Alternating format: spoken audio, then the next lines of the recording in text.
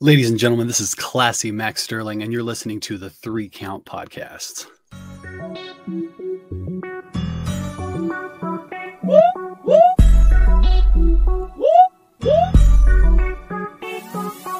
I'm in fashion, roll with cold passion. Welcome everybody to another great edition of the Three Count Podcast presents Now Entering, and I'm your host Clifford Red Dog Miller, the man that leads you up this mountain called wrestling. That's right, and by now everybody should be saying it with me. I am your Sherpa. Actually, you guys should probably be saying you are my Sherpa. But anyway, like every good Sherpa, you gotta have someone who's been there, done that, and can do it more efficiently than you can. That's why it's never about me. It's about who's entering the ring. And today, you see our person from IWA Vintage Pro Wrestling. They've been at MFPW, Synergy, PTP, MPX, and TCW. He is the classiest man who's ever graced us with his presence on this podcast. He is the classy Max Sterling. Thank you for having me. Happy to be here.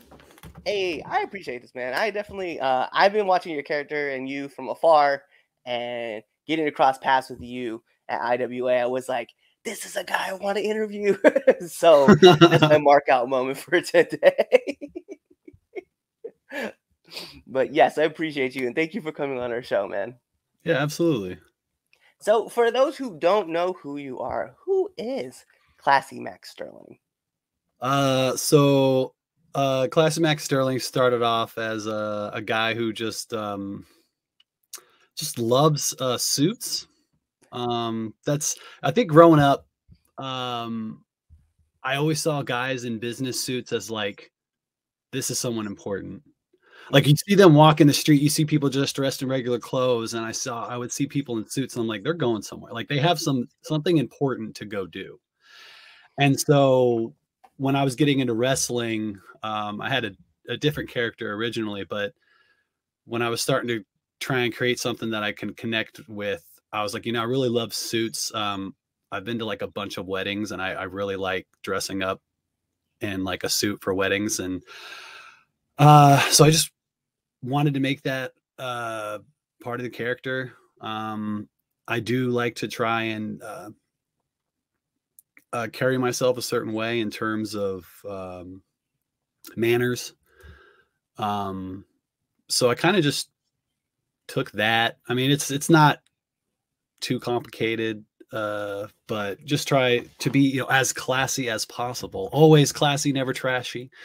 Um, but uh, yeah. Um, and now we're we're we're kind of going towards an evolution. So we'll see what happens to to Max Sterling in in the next year because I feel like there's a I feel like there's an evolution coming. No, I like it. What what I like about like the character is is you're right. Like every person that's like of importance, always in a suit, always seeming like they gotta go somewhere, always like like if you're watch, they look at their watch like all the time, like they're having conversation with you. They're just kind of like, uh, I got, I got, I got places. Yeah. Listen, sir, I appreciate the conversation, but I have things I got to do and I got to run. Salutations, and they just take off. and I mean, even if you look at through like wrestling, right, like IRS or Mhm. Ted DiBiase, Virgil for a little while, right? Mhm. And you see all these dudes who are always dressed up. Look at Miz, like Miz when he's Oh, yeah. like dressed up, you're like, it's a good looking dude right there. Yeah, one hundred percent. but how did you get into the sport?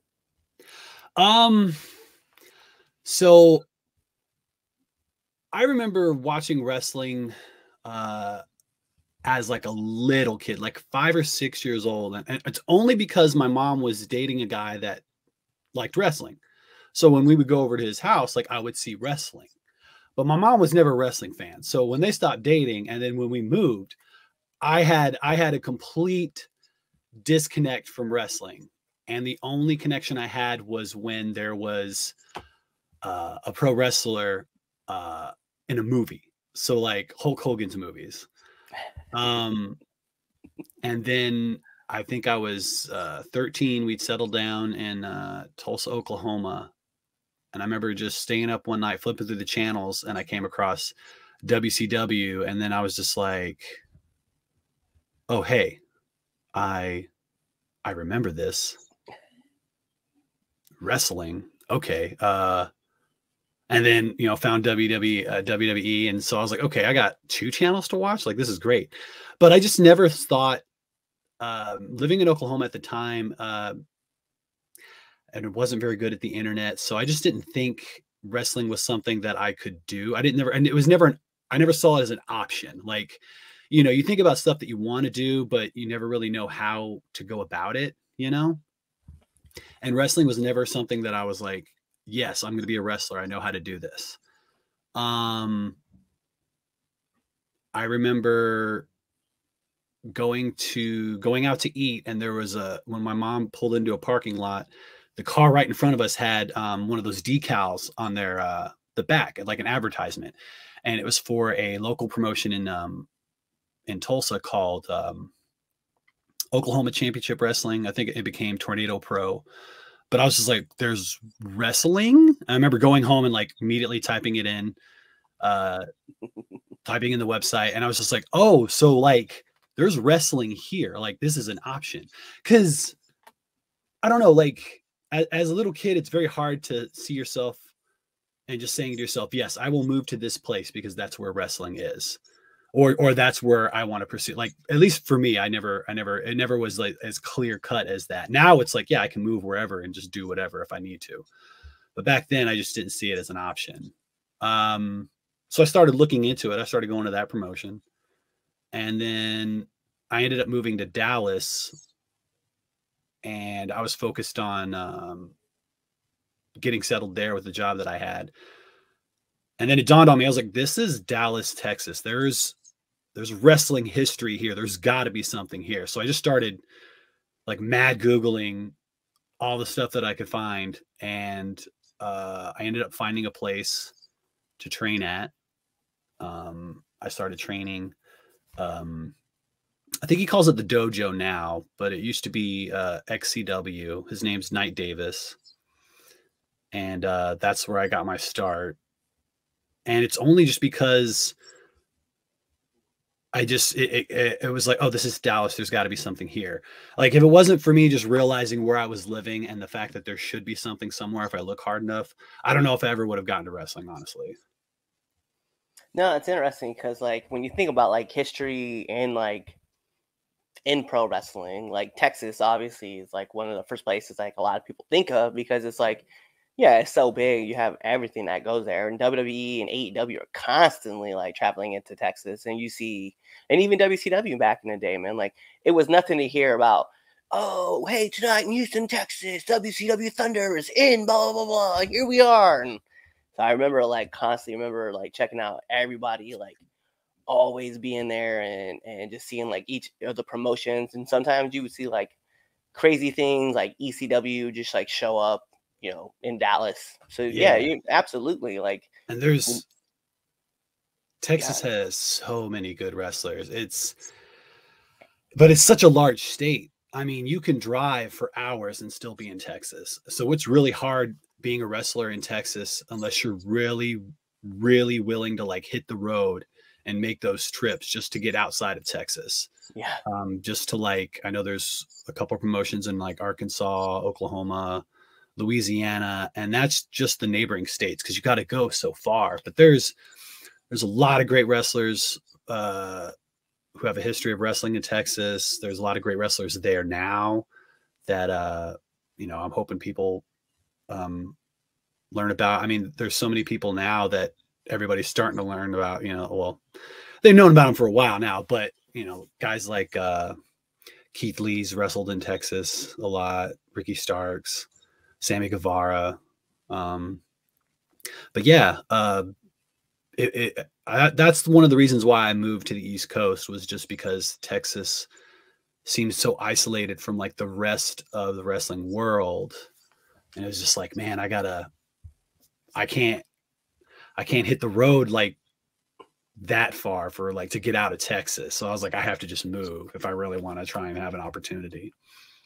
You know, it's it's crazy though because when you look at eh, like you were looking at Texas, like we've had all sorts of people on the show from Texas, whether it's in El Paso or you've had people in Lubbock, or mm. you've had people down in in Texas in Dallas.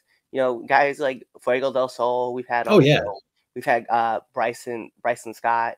We've oh, had oh yeah uh, yeah Justin Taylor, you know, the living proof himself. Yeah. We had we had Will Allday, and that was that's something to say though because like I remember watching like AEW Dark, right?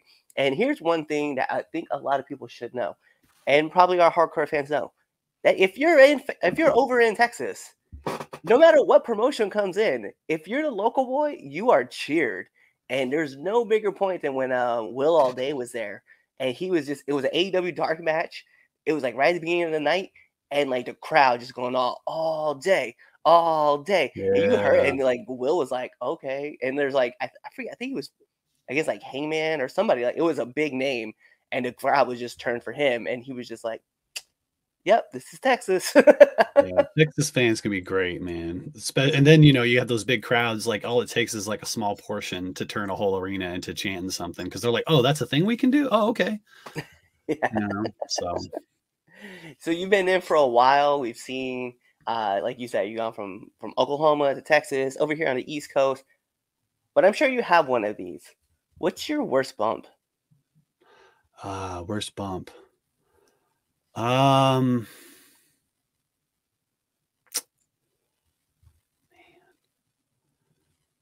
So many that I thought would be bad that just ended up not being as bad as I thought.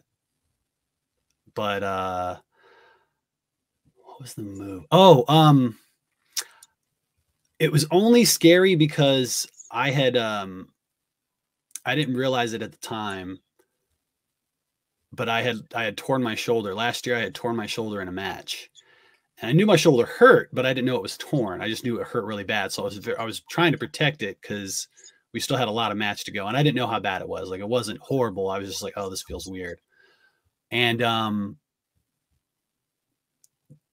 it was a um, it was a Michinoku driver, but I just uh, I wasn't expecting it. Uh, because I was trying to protect myself. So I had to like, Mm. I want, I, I like made the bump lean more. I tried to lean more to my other side, the other shoulder that I knew wasn't hurting. So more force ended up on like one side. So that really hurt. Uh, that's just because I was trying to protect myself. But, um, so not like the worst bump in terms of just like, oh, wow, I didn't think it would hurt that much, but just worse because I was like, man, I got to make sure I don't land on my other shoulder because I don't know what's going on. No, that makes sense. That makes sense because, like, you know, that's naturally what you want to do, anyways. Protect yourself. That's Yeah. what you're supposed to do in wrestling. like, because you never know what's gonna happen. Mhm. Uh, so you get done with the show. You kind of like done for the night. You just kind of just need to know what's that post match snack, post match meal that you got to go get. Oh man, I really don't have one, honestly. Um when I'm uh when I'm like locked in on my meal plan, very boring meal plan. Uh I, I kind of just stick with it. Um I have a I have a trainer that I work with and uh he's uh he's pretty strict. Uh, he's mostly he mostly works with like uh, fitness and like bodybuilder types. So he's like used to these people being very regimented, and I'm always like, man, I'm not trying to step on stage. You don't have to be mean to me. uh, not that he's mean to me, but uh, he's just like, look, you know, let's we have our goal. Let's lock in and make sure we like get to this goal. Um, but I mean, if we're just talking, hey, I know I have a I know I have a free meal that my trainer said, hey, go have something and enjoy it. Uh, I love a good breakfast, man, any time of the day. If I can get if I can get a good omelet and some pancakes, just depends on what type, but like if I can get an omelet and some pancakes, doesn't matter what time of day, uh, I can always enjoy that, man. yes, a good, a good. omelet. you know what? Like now you say that, uh, I kind of want to hit up a Denny's now and go get me like just a good like eggs over my hammies. Like man, that's- on point. Like I feel where you're coming from. Like I need one of those now. And I feel like Yeah. Denny's also had like the uh like the all meat uh omelet. I could definitely I can go for this right now. Oh yeah, yeah, the All American. I think I think that's Yep. what it's called. I could but, definitely uh, I could do that. Yeah, man. Uh, breakfast any time of the day, man. Like two o'clock in the morning, seven o'clock in the morning, to like three o'clock in the afternoon. It doesn't Yeah. matter. definitely. I could definitely do that too. Um what's like one of the hardest lessons you've had to learn in the business? Um, it's it's a tie between. Uh, I I really had to learn. Um, I uh, I suffer from uh, something known as uh, a punchable face, and I've been told that many times by many people, and it's great at like when you're a heel it's great because that just means it's very easy for me to get people to hate me. But i think that it hurts me in uh in real life because i think people will see me and be like this guy is a douchebag and and sometimes like i'll be listening to people i've gotten in trouble at uh seminars and when i was younger i would get in trouble at seminars or even um you know before a show when like they're trying to get everybody together, make sure everybody's on the same page on like what the lay of the card, you know, laying the car out, card out.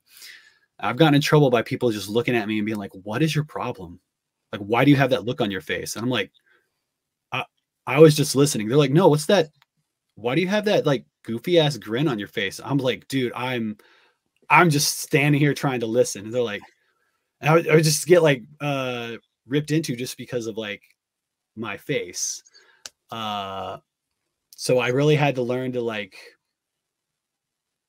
and then it never helped because when they started to when they would start to get on me, I would always like I would smirk more because I was like when I'd get uncomfortable, I'm always like, yeah, no, everything's cool, guys. There's nothing serious going on. And they're just like, why are you smiling? This is serious. Why are you smiling? I'm like, so I had to learn to just like blank face everything whenever like somebody starts to get on to me about something. And uh the other thing was um, uh, my aggression. Um, when I first got into wrestling, uh, my aggression was like the hardest thing to tap into. And um, my trainer down in Texas, like, just put me in a normal drill and just was like, all right, we're just gonna just gonna beat on you and you're gonna have to like beat back, but like you need to be aggressive and uh, that helped me out a lot because um, I definitely think I would not have lasted as long if I didn't find the uh, find that aggression. I think aggression is very important pro wrestling, regardless of what kind of character you have. But um, yeah, yeah, my face has gotten me in so much trouble, and and it's like people have complimented me, like, man, you have a punchable face, like that's a good thing. But then I think about all the times it's gotten me in trouble. I'm like, man, it's too much like here's a win here and here's like a loss here. You gotta learn to balance that out, man. I uh okay, so I can't I can't attest to the punchable face thing. I could definitely kind of like talk about like the aggression side. I feel like that's something like I hear a lot now, right? And I know I've only been here for like two years, but I hear it all the time. Like, dude just died. You just went out there and you as soon as he punched you, like Oh, you oh, yeah. went to the ground and you just didn't get back up. Like you weren't selling like you're supposed to, right?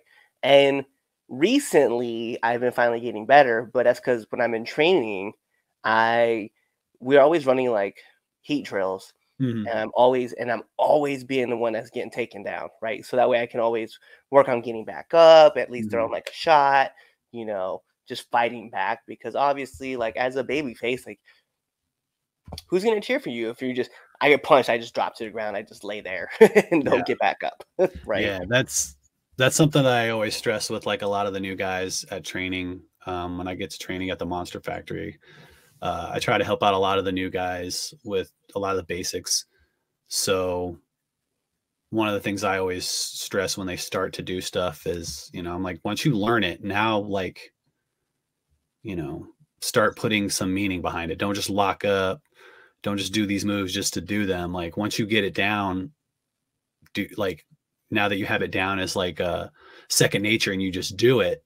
You know, if someone says grab a headlock and you can, you can just grab a headlock. Now you need to start working on like putting emotion behind it and like putting a you know making me believe that you're in a fight, not just being like I have a headlock now. You know things like that. So um, here's yeah. here's my wrist lock. Uh, yep. Right. Yeah. yeah. Uh, oh, yeah. I definitely I understand. yeah, the whole the whole staying alive, show and fight is real important. And and I mean we like we've all been there. you know, everybody, I think everybody just starts dying too quickly when they're first learning. And then it's just like trying to figure out, you know, okay, this is only, if this was a match, this has only been like two minutes. I shouldn't be completely dead unless I just have no gas, you know, if I have no stamina whatsoever. so, yeah, okay, I shouldn't just be laying on the ground unless I completely got mauled by a guy twice my size. And maybe I can lay on the ground a little bit. But yeah. Yeah, I have a, I love that. I love that aspect of like, it was something. It was something somebody brought to me, and I'm gonna ask you about like what kind of advice you would give. But it's like an advice that someone gave to me off of Facebook, and they got it from somebody in a seminar, and they were like, if I told you that you were getting paid a million dollars to win this fight, right, to win this match, I bet you would structure this match a lot different than what you do normally. And I was like, yeah, yeah, I definitely. I was like, you would have told me ten dollars. I'm fighting a lot different than a million. I was like, we're doing this, and uh, I remember uh, my friends when I when we talked about it, like in our own chat group, they're like, "Oh yeah, I think I would too." I was like, "Listen, I'm knocking both you guys out. I don't give a shit. I'm trying to win money now. That's a whole different aspect of this fight." And I think about it now. I'm like, "All right, that's how I'm going to establish myself now going into all and I was even watching my matches back. I'm like, if there was a million dollars, would you really just sit there in the corner and just wait for your spot, or would you just go through and just kick the shit out of people? And I was like, mm. definitely think I would go through and kick the shit out of people. yeah, yeah. It's uh it's interesting. Uh you know, I've uh had a few different trainers and like just thinking about all the different uh, all the different things that they've done differently, but then all the things they do that have been the same, and just they just approached it di- like, or they approached it or explained it differently, but it was all like the same thing. They were still trying to get the same point across. This is really interesting. Um, you know how they'll like analogies that people use basically like when they're trying to when they're trying to sell you on something and, and like prove a point to you to like make it click it's always like the analogies that they'll use I, what i love is um my trainer down in Texas, and it still happens. And I always think about him every time. Is he would be like he would tell me and uh the other guys that were training, he's like, look, I'm going to tell you something over and over. I don't know how many times. And you're going to be like, oh, yeah, okay, yeah, no, I get it. I get it. And then you're just going to go to a seminar. just, it might be a name, it might be somebody from somebody else from Texas that you've looked up to, but they're going to say something and you're gonna be like, it all makes sense. and he's like, and if you look at me, I'm gonna look at you like, sounds familiar. And and I always I always remembered him saying that. So anytime I was at a seminar and somebody said something that I that I knew he had said, and and because sometimes he would uh he would hold seminars at his at his facility, so he would still be there. He the, the trainer would say something, I just look over at him, and he'd just be like,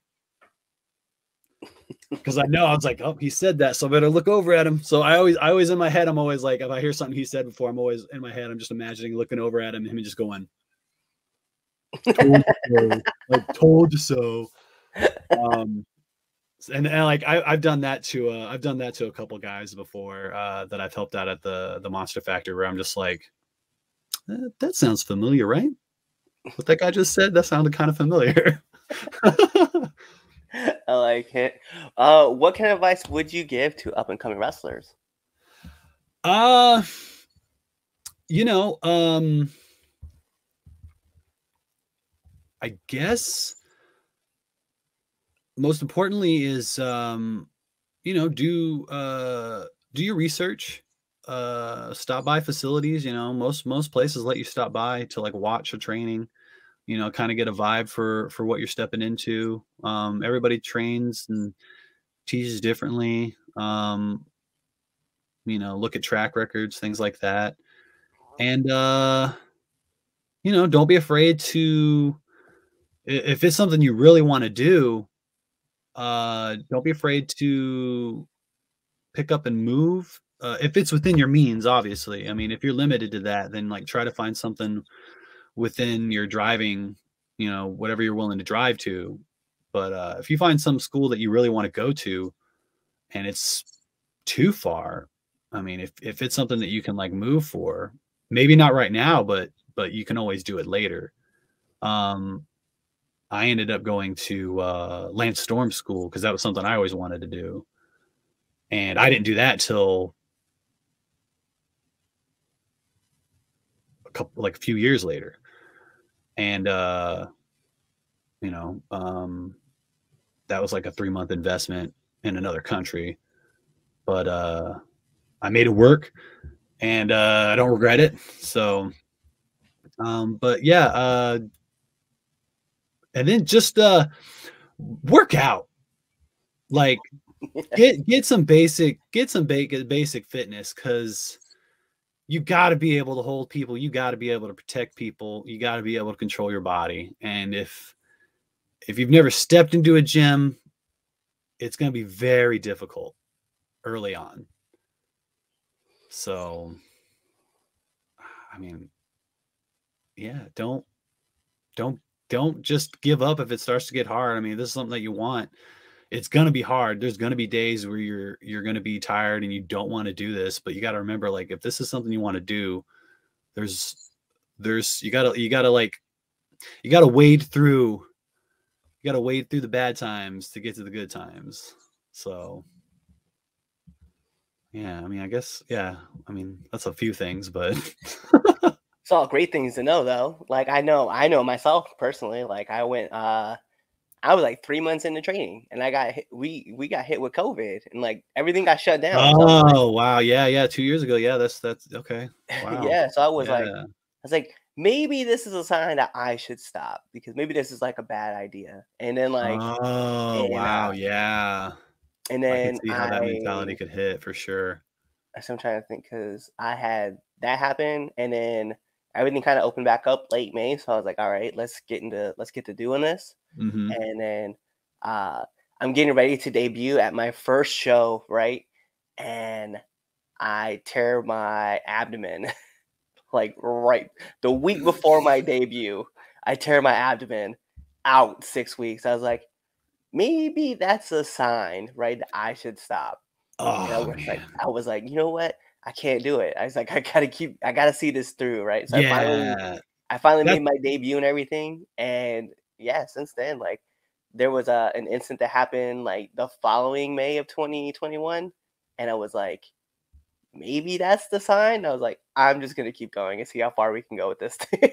that that that brings up another that brings up another thing it's like stuff might happen early on like an injury that sets you back and like it can be very frustrating um but especially like um like when you start off when you start training and there's somebody else new that starts with you like that's awesome like so I want to let people know like if you start off and there's someone new who's starting off like around the same time as you, if not the exact same time as you, like that's literally literally that should be your new best friend in wrestling.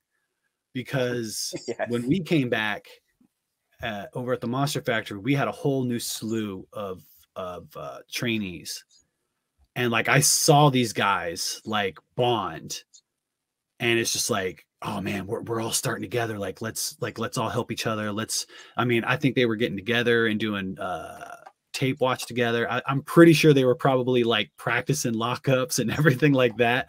And like that's good. Like when you the more you can do outside of training as long you know safely you know the simple stuff like footwork and and things like a lockup like that's so much easy to get those reps in with somebody that you start with is good. But like don't don't let a setback like a small injury that makes you sit out don't don't make it don't feel like oh i'm falling behind everybody's getting far like everybody's getting ahead of me because i'm not doing anything. Like nah man like we all progress differently if you're if you're injured like this is your time to like watch.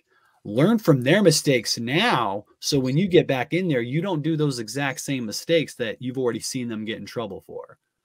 Like injuries can be such a blessing for for a new person uh just in the sense of like if you're not the type of person who likes getting yelled at for doing something wrong if you just sit and watch you can you can avoid making so many mistakes just by watching what the mistakes that other people do. I I I, say that as like a younger sibling, and I didn't make near as many mistakes as my my brother and sister did because I watched them make mistakes, and I went, "All right, mom didn't like that. I will not do that because I uh, I don't want to get beat over the head." So, you know, um, it, it's but like definitely if somebody starts or somebody's just as new as you are like they should definitely be they should definitely be one of your new friends because it's gonna it's so much better when you have somebody that is coming up with you that you can like go on that journey with together.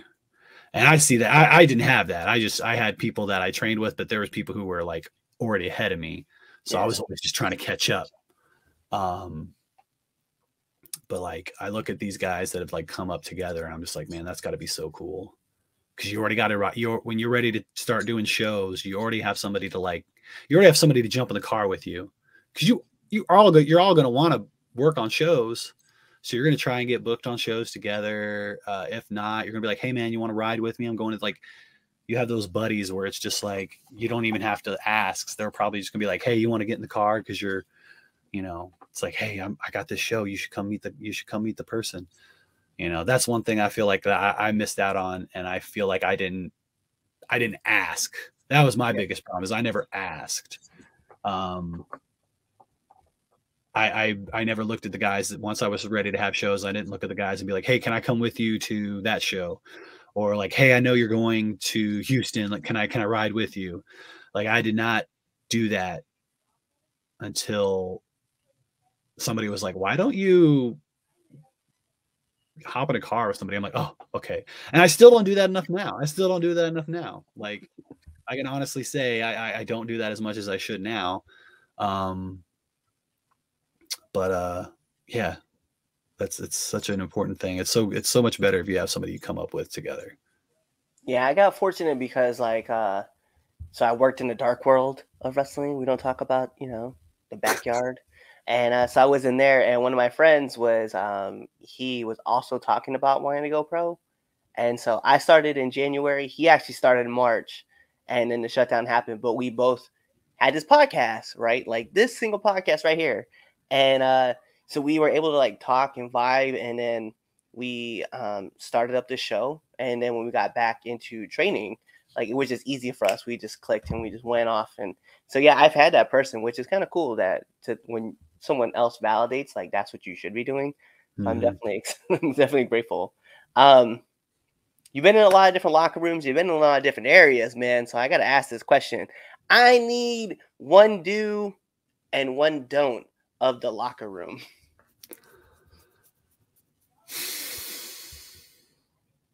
One do, one don't.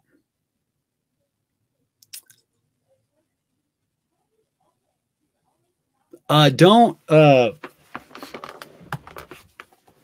don't interrupt uh, people talking. Uh, you know, like a lot of people, you know, especially when you're just starting, it's like, oh, I got to go around and like introduce myself to everybody, you know, and it's like if there's some people talking and they are like engaged, like focused, or if they're like huddled up, like you can just go by and like do a wave or like maybe like reach out and just say hey but uh i i've gotten some looks from like disrupting the conversation that was going on and it's just like yeah okay and it's like oh i should have waited i should have waited. It's like i can get i can get them later like you can always get them on the next go around like you can always look and be like okay, I'll come back and then be like, oh, hey, hey, just you know, real quick. Um, it's something simple, I guess, but uh, one do. Um, I mean,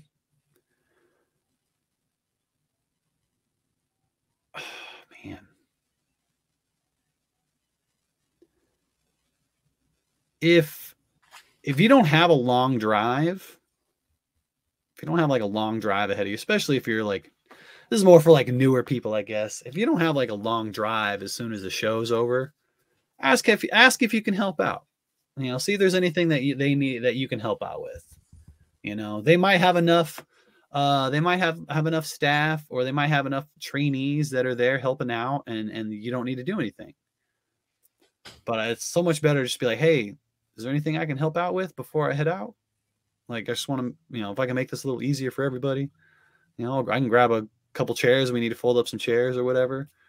Um, I feel like that just shows like, I don't know, you're, it, it's, I don't know, I guess it shows that you care. You know, you're not just like, hey, I'm here and hey, I'm out. Like it's it's like, oh, time's up, I'm heading out. Like obviously, if you got like a a trip, um, I remember we would have some shows down in San Antonio, and that's like a five hour drive from uh from Dallas.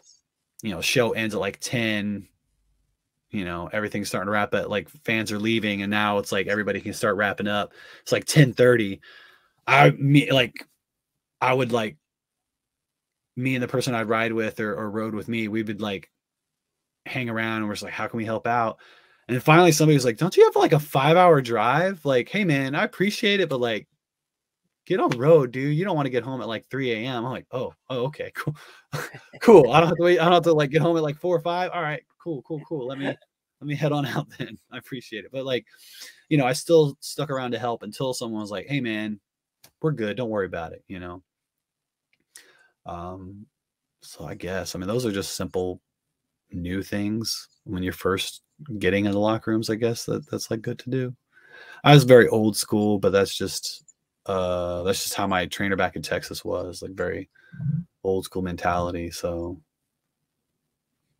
No, I like that though. That that's cool though. But those are my heavy hitting questions. So we got to get into the second best segment of the three count podcast. And you're probably wondering what's the first? It's the Red Dogs Power Rankings that you can find every Sunday on our debate show. But this is the three count podcast, 10 count questions. And uh, Mr. Classy, this is how it's going to work. I'm going to fire off 10 questions at you. And uh, whatever's your answer, that's your answer. Okay. All right. I will try to be, I will try to be uh, quick and rapid fire. All right. So we're going to put on an imaginative timer for added pressure. Bing. And here we go. SmackDown or Raw? SmackDown. Favorite movie? Uh, Hot Fuzz. Yes. Let's go. Sonic or Mario? Mario. Favorite cartoon? Teenage Mutant Ninja Turtles. Let's go. Like the 90s one or like the current one? Uh, I like old school, man. You know, OG. Yeah.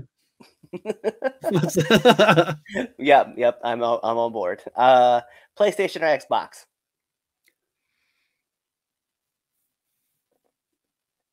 Boy, uh, I'm gonna have to go.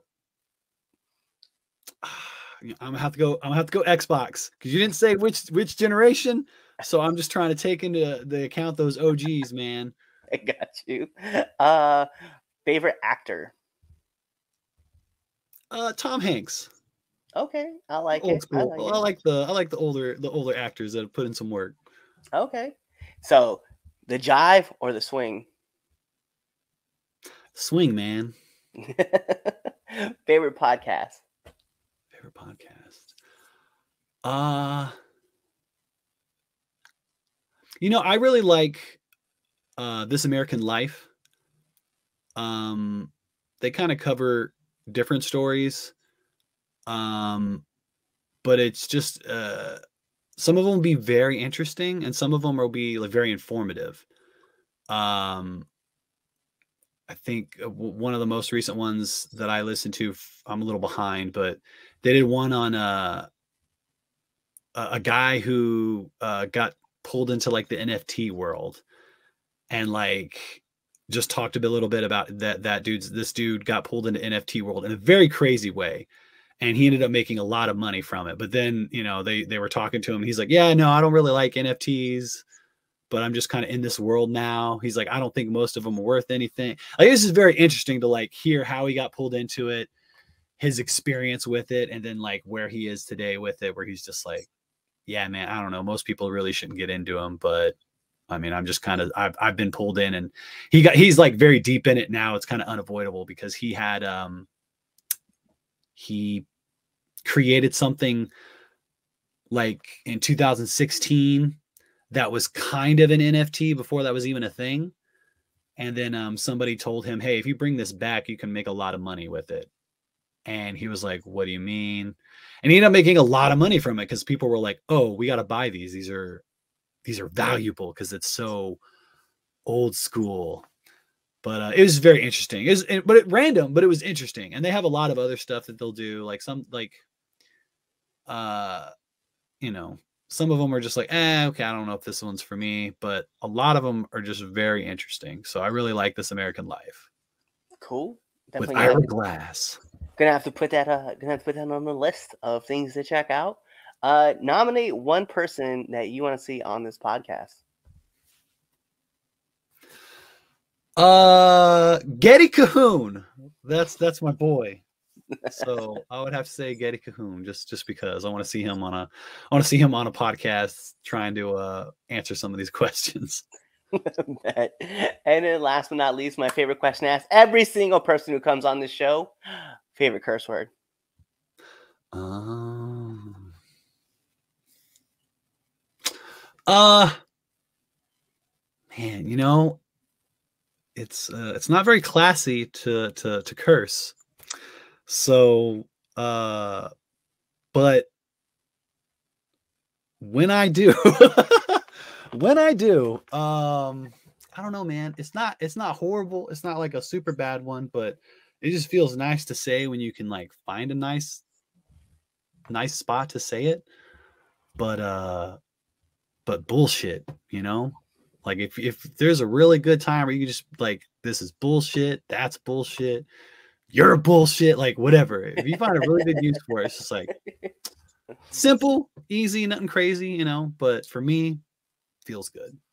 I, I'm gonna be honest, man. Like I've been watching the uh the Johnny Depp Amber Heard trial, and uh yeah, I find myself saying that all the time. Like that's bullshit. I'm like bullshit. like just like questions things. Yeah, it, it is definitely a word that you can use, kind of like for whatever emotion you're looking for. Mhm.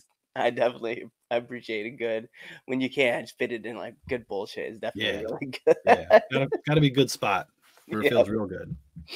Well, those are all my heavy hitting questions that I do have for you. So if you can let our listeners and our viewers know where they can find you. Uh, my social media is classy wrestler. Uh, I've been told that I should change it to my actual name. I'll probably do that at some point, but as of right now, Instagram, Twitter, um, classy wrestler. Uh, I'm not very active on Twitter. I'm trying.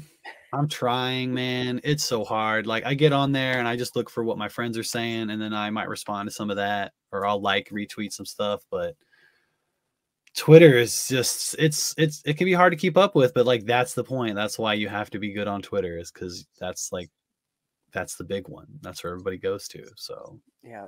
but uh classy wrestler. All the time, my friends all tell me too. They're like, dude, you gotta be on Twitter. You gotta be more active on Twitter. I was like, do you know how hard it is to be on Twitter? It's equivalent to telling people to stop smoking. That's how hard it is to be here.